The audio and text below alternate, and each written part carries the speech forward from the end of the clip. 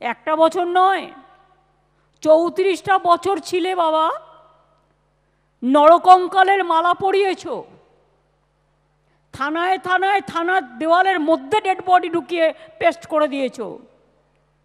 হলদি নদীতে ভাসিয়ে দিয়েছ। বস্তায় নুন বেঁধে ডেড বডি ভাসিয়ে দিয়েছ।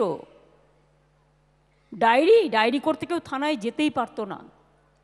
আজকে কোথায় তারা?